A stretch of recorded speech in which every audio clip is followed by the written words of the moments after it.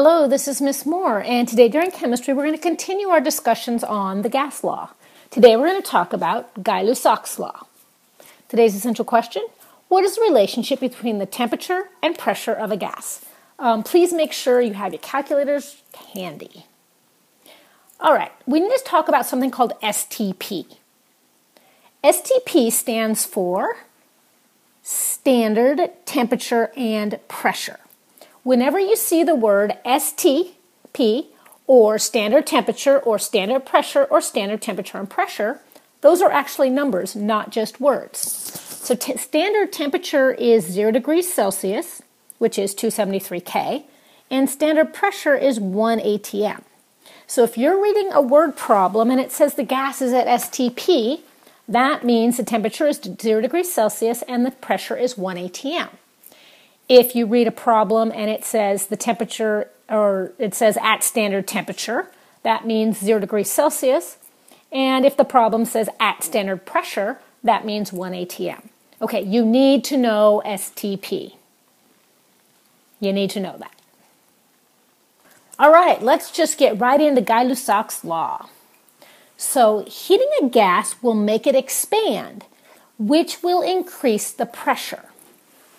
Okay, it, it can also increase the volume, but that would happen if the um, if the container it's in is able to change volume. It can is stretchy. Um, if you have something in a closed container um, that's not stretchy, instead of it instead of it um, expanding in volume, it will increase pressure. So gas molecules move faster when heat energy is added to them, causing them to strike with more force against the walls of their container. So the gas pressure increases. Um, the other way goes if you if the pressure of a gas will decrease when a gas is cooled down. This is because molecules are moving slower. Okay, so Gay-Lussac's law.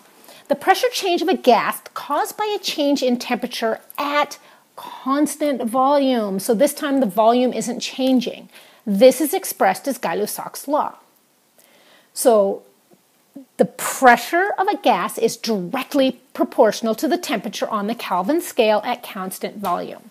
So just like with Charles' law, pressure and temperature are also directly proportional. If temperature increases, pressure increases. If temperature decreases, pressure decreases.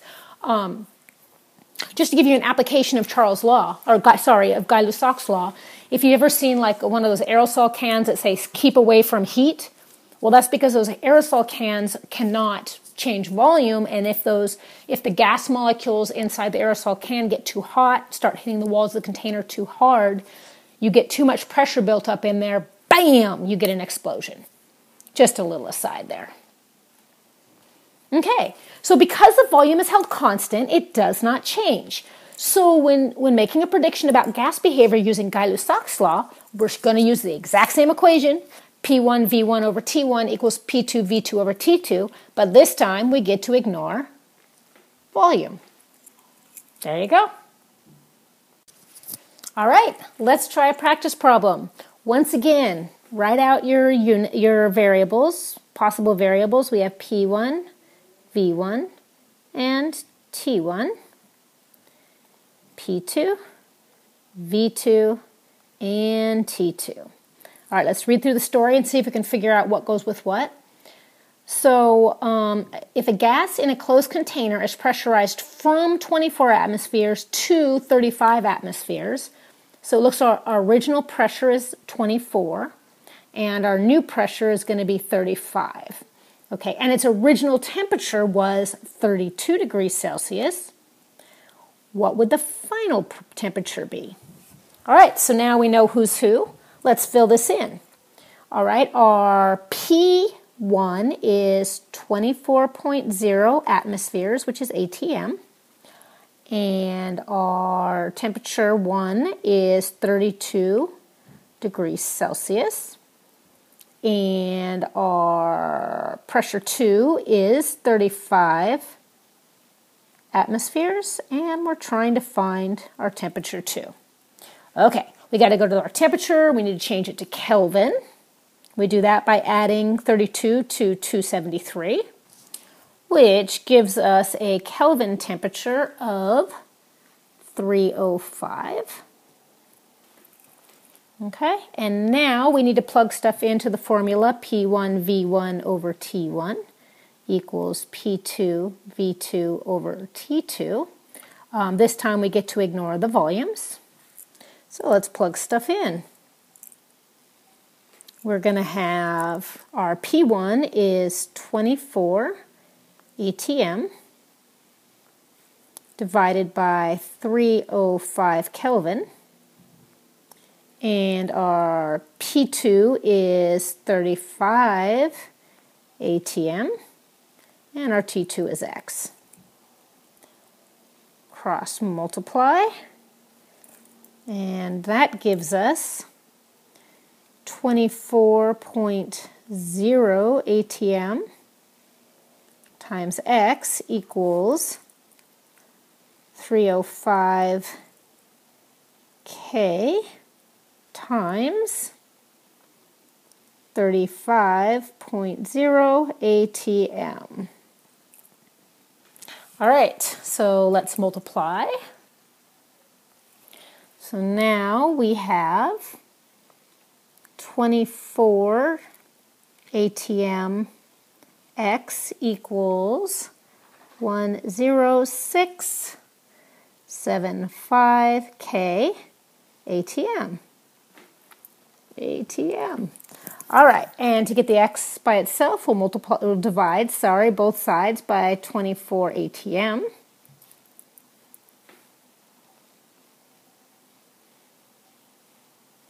ATMs cross out, and that gives us, I got 444.7916 and so forth Kelvin. Our sig figs, we have 3 and 3 and 3.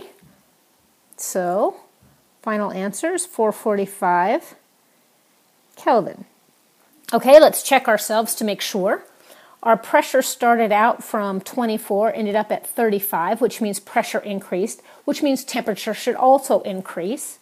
And we have 305K and ended up with um, 445K. So, looks like we did it right. Okay, one more problem. Um, this time, once again, why don't you hit pause, try to do it by yourself, then hit play and see how you did. Okay, once again, I'm going to make a list of my variables. I've got P1, V1, and T1, and P2, V2, and T2. All right, let me read through the story here. I have a gas in a closed container that has a pressure of 87 atmospheres at 32 degrees Celsius. So those go together. If the temp- temperature is changed to 56 degrees Celsius, what will be the new pressure? Alrighty, so our pressure one is 87.0 atmospheres, and our temperature one is 32 degrees Celsius, which we need to change to Kelvin, which gives us 305 Kelvin. Let's see, our pressure 2, we don't know, and our temperature 2 is 56 degrees. Mm, let's do that again. Is 50, I can do this, is 56 degrees Celsius which we need to change to Kelvin. And I got 329 Kelvin. All right, let's put this in the formula. P1 times V1 over T1 equals P2 times V2 over T2. And we get to ignore the V's this time. So we're going to have 87 ATM over 305 Kelvin equals, we don't know what, divided by 329, hmm, 329K.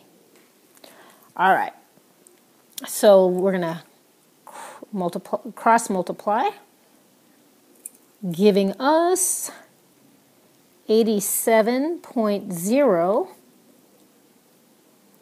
ATM times 329K equals 305K times X. All right, so now when we multiply,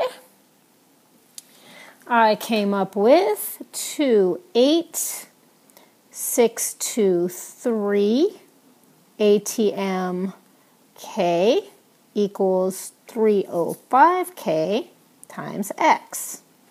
Get the X by itself, we need to divide both sides by K. No, by 305K, sorry. Giving us I got 93.8459 and so forth K. Let's go back and look our sig figs. We have 3 and 3 and 3. So our final answer is going to be 93.8 K. Okay, let's do a quick check. Let's see, our pressure, we don't know. Our temperature increased from 1 to 2, which means our pressure should also increase. And we went from 87 to 93, so we must have done it right. All right, that's it for today. Have a good one.